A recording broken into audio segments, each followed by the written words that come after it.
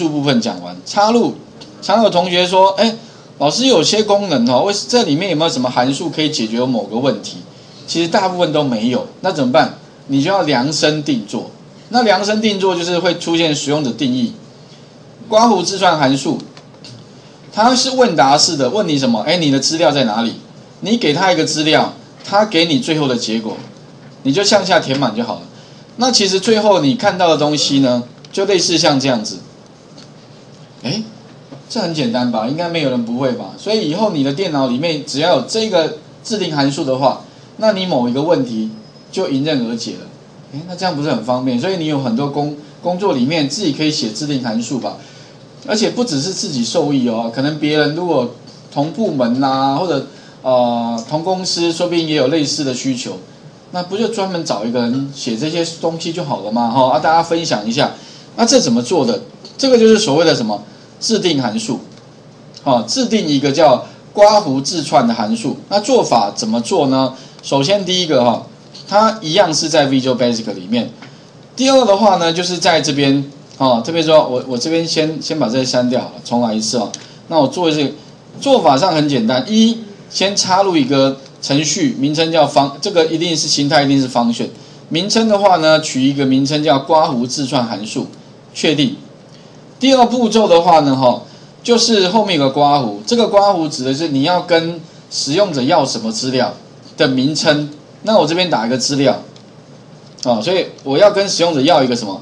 嗯嗯，名称我就叫资料好了。那这个名称将来会在哪边找到呢？哈，你可以看到啊，在这边插入函数，按确定，这边就有个资料两个字。当然，将来这个名称哈，你可以不一定叫资料，你可以叫其他名称。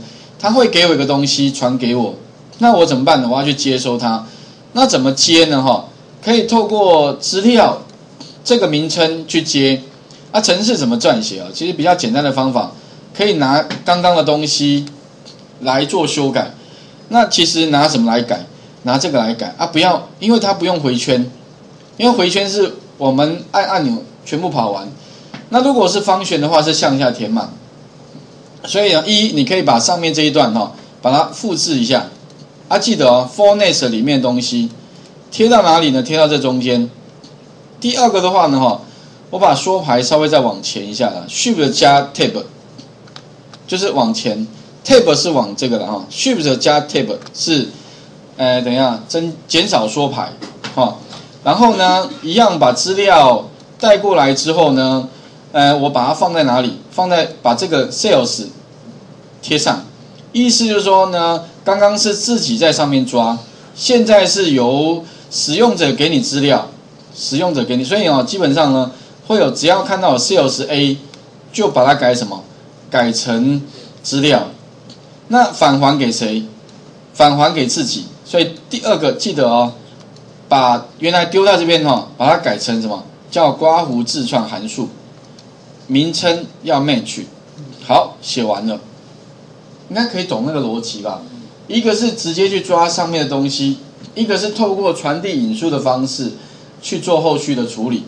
好，那我们来试一下啊，插入函数，来，然后呢，直接什么？这个给它按确定，向下填满。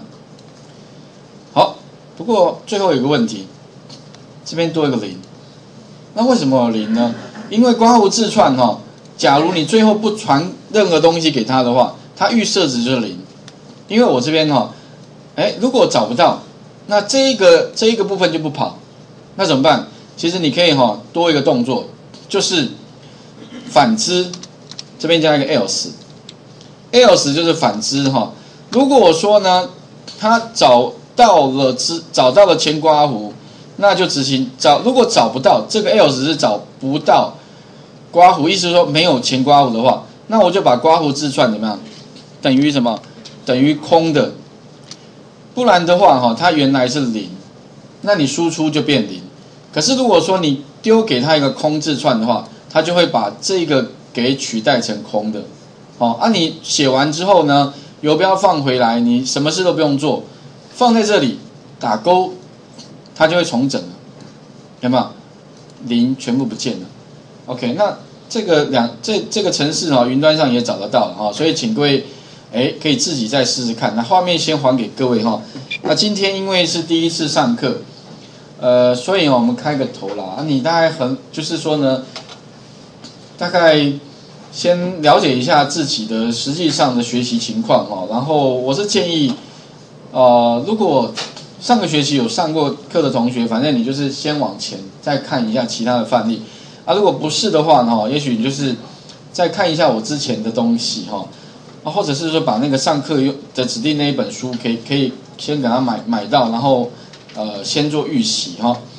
OK，那今天的话，因为时间的，我们先讲到这里哈。